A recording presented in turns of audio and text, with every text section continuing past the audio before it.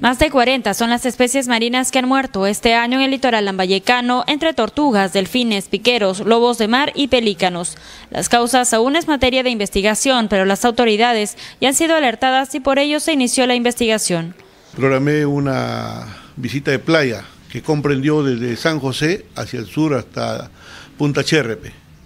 Y en ese trayecto, al sur de la playa de Puerto, de Puerto Eten, encontramos un delfín muerto, así como cuatro lobos. Entonces eso en realidad como biólogo que soy, defensor de la vida y del medio ambiente, me preocupa. Entonces eh, he dado la alerta para que los entes responsables y encargados del monitoreo de las condiciones oceanográficas del mar hagan una vigilancia severa, ¿no? Algo debe estar ocurriendo. Según el experto, la muerte de las especies marinas podría estar relacionada con las ocurridas el año pasado, es decir, por falta de alimento o contaminación por explotaciones petroleras en el litoral piurano. Sin embargo, las causas exactas las determinará un estudio a profundidad. Eh, no se descarta, ¿no? No se descarta, pero el detalle es cuando uno encuentra en un espacio imaginémoslo en un kilómetro, varias especies muertas, algo te indica, ¿no?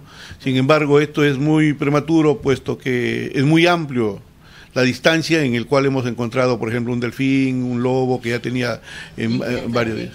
Algunas de las especies encontradas en las playas de Puerto Eten y San José tendrían aproximadamente ocho días de muertas, de acuerdo con el estado de descomposición que presentaban.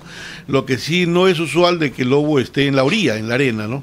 Entonces ciertos animales pueden haber muerto de repente de viejos, enfermos, atacados, son un sinnúmero de este fenómeno que afecta al ecosistema marino en esta parte del norte no sería un caso aislado, pues se tendría información de la muerte de más especies marinas en otras partes del mar peruano. Eh, tengo algunos colegas, claro, tengo algunos colegas en la ciudad de Trujillo y ellos me indican, por ejemplo, que ha habido una varazón de peces, creo, a la zona de Chancay y en Trujillo, eh, en la zona de Chicama. Eh, les llama la atención eh, la varazón de bastante medusa o malagua que uno conoce, ¿no?